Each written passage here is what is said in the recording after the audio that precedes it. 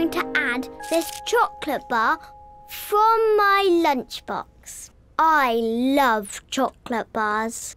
Oh, maybe just one bite.